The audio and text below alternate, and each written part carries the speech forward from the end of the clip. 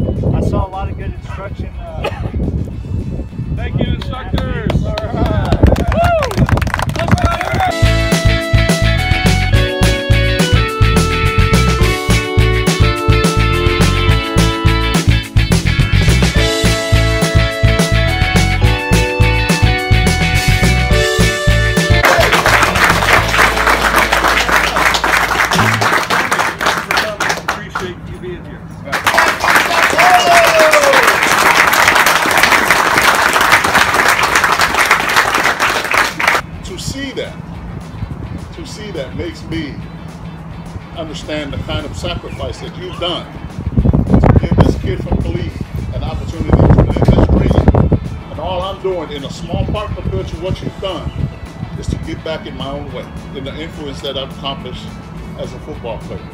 Three-time Purple Heart recipient, real man's man, true American hero.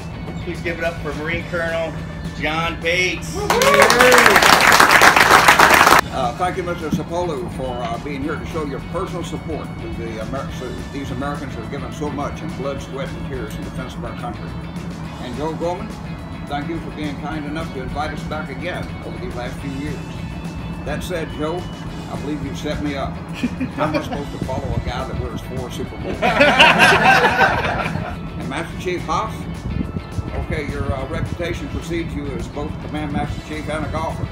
I've recently heard you'll be hanging it up uh, after uh, 30 years of U.S. Naval service. The only question is, are you getting out so soon? Fair winds and following seas.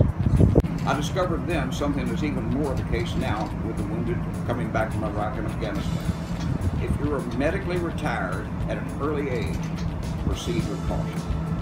It can rob you of your purpose, your drive, and incentive. Don't allow it to do so. Take care of your own. Thanks for being here, and wish you the very best this, this new year. Cause, please give it up. Mike is actually why we're here today. It was his idea to start these clinics three years ago. Please give it up after 30 years in the Navy. Michael!